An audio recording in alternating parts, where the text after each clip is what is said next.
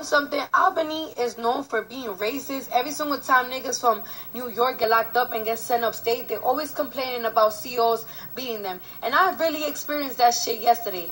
Cause how the floor that I was staying in in my hotel room, it smelled like weed.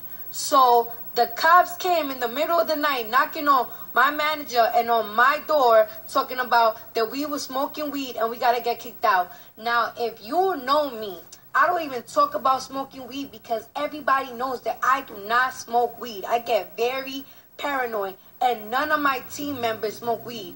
If they was to kick us out for something else, I. But for weed, I'm not taking that because we do not smoke. I could get, we could all get drug tests. Nobody smokes. Nobody smokes.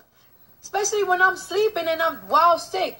You're not gonna do that to me. Mind you, everybody on the floor was Caucasian, but you wanna kick us out. Fuck out of here. I would not. Like, if I was guilty of smoking weed or something, I wouldn't even make the show that I did yesterday. Because if the cops wanted to investigate and find trade and smell of weed in my room, then I would have gotten locked up. But I was so confident that it wasn't me or neither of my team members because we really do not smoke weed.